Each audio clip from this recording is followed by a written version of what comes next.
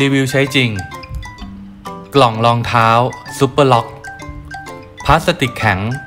เปิดฝาหน้า อันนี้เป็นรุ่น Super Box 56 57 ซื้อ 10 แถม 2 นะครับ ก็คือกล่องหนึ่งที่เขาห่อมาก็จะแบ่งเป็น 2 กล่องข้างใน ก็คือต้องให้มาประกอบเองนะครับ ก่อนหน้านี้ผมเคยรีวิวที่เป็นกล่องรองเท้าแบบบางไปแล้ว อันนั้นคือ มันจะบางกว่านี้ แล้วก็มันใส่รองเท้าหนักมากไม่ได้ คือถ้าใส่มากแล้วซ้อนหลายชั้นไปมันก็จะบี้ แต่ว่าอันนี้เป็นแบบพลาสติกแข็ง ราคามันก็จะแพงกว่า แล้วก็เป็นพลาสติกที่แข็งจริงๆอะ่ะ แข็งแบบเป็นโครงที่ คือถ้าต่อเตี้ยๆนี่คุณอาจจะนั่งได้ไม่ไม่ยุบนะ เพราะว่ามันมันแข็งขนาดนั้น เดี๋ยววันนี้ผมจะลองลองต่อให้ดูเลยนะครับ แล้วก็จะลองใส่รองเท้าแบบต่างๆ ให้ดูเลย เพราะว่านี่มันเป็นขนาดที่ใส่ได้กับทั้งรองเท้าผู้ชาย ที่เป็นรองเท้าวิ่งใหญ่ๆเงี้ยก็ใส่ได้ เพราะว่าเขาบอกว่าใส่ได้ทุกขนาด หรือถ้าเกิดว่าเป็นรองเท้าผู้หญิงคู่เล็ก ๆ หรือรองเท้าส้นสูงเนี่ยบางครั้งเนี่ยช่องหนึ่งใส่ได้สองคู่เลยนะครับอืมอาจจะแบบใส่เป็นเบียดได้ เพราะมันค่อนข้างจะใหญ่ ขนาดของมันคือ สามสิบห้าจุดห้าคูณยี่สิบหกคูณสิบเจ็ดจุดห้านะครับ มันจะกว้างพอสมควร เซตหนึ่งมันจะมีสามชิ้น แค่นั้นเองประกอบง่ายมาก คือตัวบอดี้ของมันคือตัวโครงกล่อง แล้วก็ตัวฝาฝาบน ตัวฝาบนก็ดูตรงเงี้ยงมันแล้วกันนะ เนี่ย มันจะมีช่องให้ใส่ประกบกับตัวเสาสองฝั่งอย่างเงี้ย ไม่ยากก็คือใส่ไปมือจะลงล็อกพอดีขยับนิดหน่อย ให้มันลงล็อก แล้วกดลงไปให้มันเข้าล็อก อาจจะต้องขยับขยับเออขยับดู แล้วกดไปนี่คือเสร็จละเหลือแค่ใส่ฝา อ่า ตัวนี้ก็จะเป็นตัวที่เป็นฝา มันก็จะมีวิธีสังเกตคือมันจะมีรูที่มีเงี้ยงสองเงี้ยงตรงนี้ แล้วก็ตัวที่เป็น ที่งับด้านบน อ่า เราก็เอาตัว เนี่ยครับ ตัวที่เป็นขาตัวนี้ใส่ ใส่ฝั่งนึงก่อน ใส่เอียงๆไปก่อน ให้มันเข้าเข้าล่องไปก่อน ก็ลองใช้หามุมนิดนึงอะพอเข้าไปแล้วอีกฝั่งหนึ่งเราก็อะฝั่งหนึ่งเข้าไปแล้วนะ อีกฝั่งหนึ่งเราก็กดตามลงไป ก็อาจจะใช้วิธีเนี่ยทำให้มันโค้งขึ้นมานิดนึงแล้วกดลามเลยอยู่แล้วมันเข้าล็อกแล้วคราวนี้เราก็เปิดฝาได้อะมันหลุดแต่แป๊บหนึ่งเมื่อกี้ผมงับไม่แน่น อะ นี่มันก็เปิดฝาได้แล้วง่ายประกอบง่ายมากพลาสติกแข็งจริง ในโฆษณาเขาบอกขึ้นไปนั่งได้แต่ผมก็ไม่อยากลองนะแต่แม่งแตก อันนี้ผมก็ต่อไว้หลายอันแล้วต่อให้ดู แล้วก็ซ้อนกัน เออตอนซ้อนมันจะมี มันจะมีตัวล็อกนิดนึงตัวฐานตัวนี้ครับระหว่างกล่องกล่องหนึ่งกับอีกกล่องหนึ่งจากด้านบนและด้านล่าง มันก็จะมีรูให้เสียบตรงนี้ แล้วก็ ตอนซ้อนกันเราก็เสียบมันลงไปด้วยมันจะได้ล็อก แต่ว่าตัวนี้ไม่ได้มีด้านล็อกตัวล็อกด้านหน้านะ ก็จะมีตัวล็อกด้านหลังตรงนี้ แต่ปกติเราวางไว้เราก็ไม่ยกไปไหนอยู่แล้ว นี่ ก็ยกมันขึ้นนิดนึง ให้ตัวตัวพลาสติกมันเข้ามาในรู แล้วเราก็ดัน มันไปด้านหลังก็เสร็จ ก็คือวางประกบเรียบร้อย เดี๋ยวผมจะมาวางตรงนี้นะครับ ดูพื้นที่ตรงนี้ ก็คือไม่มีเลย มีพื้นที่แนวสูงอย่างเดียว มีพื้นที่เล็กๆตรงนี้ เดี๋ยวผมผมจะวางรองเท้า สิบกว่าคู่นะ นี่ เอากล่องมาวางแล้วเรียบร้อย เรียงกันขึ้นไปเลย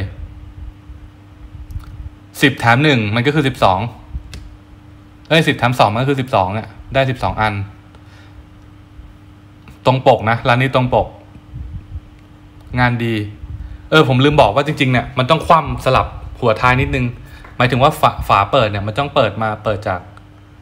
เปิดจากด้านล่างแล้วมันจะเพเยอะอะแต่ผมแบบสลับอะ ให้มันเปิดมาแล้วฝามัน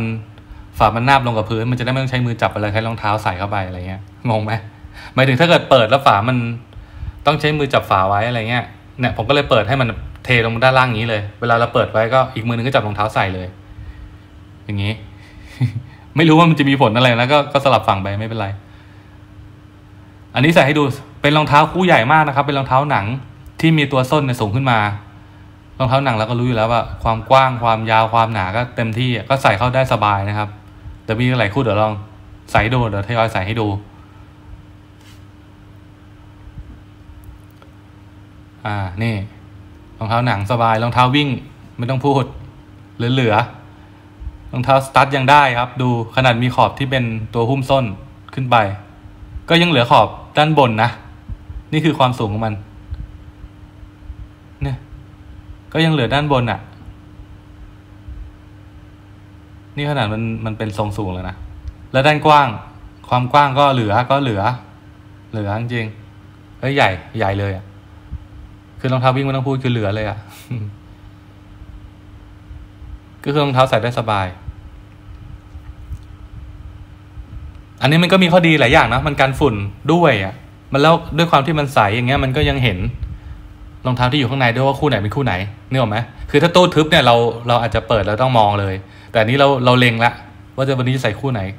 มันต้องการฝุ่นกันน้ำกันแมลงกันอะไรเงี้ยก็โอเค รองเท้าผ้าใบรองเท้าส้นสูงรองเท้าหุ้มข้อได้หมด หรือบางคนอาจจะซื้อไปเก็บของก็ได้นะจริงๆมันก็ดูประหยัดพื้นที่ดี สุดท้ายแล้วมันก็สิบ สิบสองช่องเนี่ย ราคามันก็พันกว่าบาทแต่มันก็ไม่ต่างจากการซื้อตู้เหมือนกันนะแต่ว่าคุณคุณภาพมันค่อนข้างโอเคเนี่ยผมก็เอาเปิดฝาจะอย่างนี้เลย เวลาอีกมือนึงจับรองเท้าจะได้จับเข้าไปเลยอันนี้รองเท้าหัวใหญ่นะครับ นี่สบายเลยครับ ไม่มีสะดุดใส่เข้าไปเลย เพราะเป็นรองเท้าที่หยิบบ่อยไงคือถ้าอันเก่าแบบ มันก็จะแคบๆเล็ก ๆ บางๆ วางซ้อนกันแล้วก็แบบไม่ค่อยโอเคเท่าไหร่นี่ครับ ซ้อนกัน เต็มที่ใช้พื้นที่แค่กี่กี่เซนเองตรงขอบมุมประตูนิดเดียว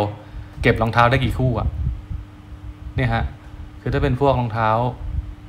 ต้นสูงอันเล็กๆรองเท้าผู้หญิงอะ่ะก็เบียดได้เลยนี่แล้วด้วยความที่มันใส่มันก็สวยดีนะ มันก็สวยดีนะถ้าใครมีรองเท้าสวยๆอะไรเงี้ยแบบ วางโชว์ได้ เขาบอกว่ารับรองเท้ารับรองรับรองเท้าเบอร์ใหญ่สุดนะ ถึง 16 US ไม่แน่ใจว่าใครมันจะใหญ่ขนาดนั้นแล้วนะอาจจะมีส่วนน้อยนะ Super Lock Micro Wear ก็คือเก็บจริงมันเก็บของได้เอกสารนี่ไงพวกนี้ก็ได้ครับ มันไม่จำเป็นต้องรองเท้าอย่างเดียว ข้อดีของมันก็คือเห็นนะว่าเราเก็บอะไรไว้ ไม่ต้องมาเปิดหาทีละช่อง บางคนก็ซื้อแบบโหเป็น เป็นร้อยร้อยกล่องเลยนะ เพราะรองเท้าเขาเยอะอะแล้วก็วางไว้มุมหนึ่งอะมันก็สวยดีนะแล้วเราเข้าไปดูในรีวิว มันจะมีภาพที่แบบ เออคนซื้อเยอะแล้วแบบ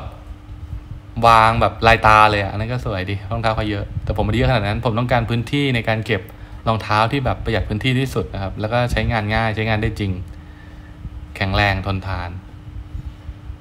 ก็เลยลองซื้อ ที่มันเป็นพลาสติกแข็ง ก่อนหน้านี้ที่ผมรีวิวมันจะเป็นพลาสติกอ่อนใช่ไหมอะคือถ้าวางซ้อนเนี่ยมันวางได้อยู่ แต่ถ้าเกิดระยะยาวเนี่ยมันก็จะเริ่มแบบมีความเอียง มีความบี้มีความอะไร อันนั้นมันอาจจะเหมาะกับการซ้อนแค่แบบสองสามชั้นง่าย ๆ เก็บอะไรที่ไม่หนักมากนะครับ ราคามันก็เลยต่างกันนั่นแหละ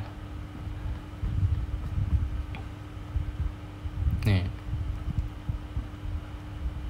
เร็วๆเลย เก็บจริง ๆ ขนาดช่องภายในยี่สิบห้าคูณสามห้าคูณสิบห้านะยี่ห้าสามห้าสิบห้าคือถ้าเกิดไม่ได้นับขอบจากข้างนอกนะ ถ้าเกิดแค่ข้างใน ก็น่าจะใส่ได้ทั้งหมดนะ คือถ้าเกิดคนทั่วไปรองเท้าทุกอย่าง ก็ลองดูใครที่สนใจที่เก็บรองเท้า คุณภาพดีเป็นพลาสติกใสที่แข็งนะครับ อันนี้ต้องย้ำว่าต้องแข็งเนอะมันจะมีที่อ่อนๆแล้วราคามันจะต่างกันเดี๋ยวสับสนเดี๋ยวผมแปะลิงก์ให้ลองเข้าไปดูเปรียบเทียบเองแล้วกันนะนี่ ตอนเราเดินเข้ามาจะหยิบรองเท้าเราก็จะเห็นเลยไอ้คู่ไหนอยู่ตรงไหนยังไงเราก็หยิบได้เลย ก็เพจรีวิวจริงก็ขอบคุณมากนะครับ คือถ้ามีอะไรน่าสนใจและเป็นของที่ผมใช้จริงก็เดี๋ยวจะมาแชร์กันไว้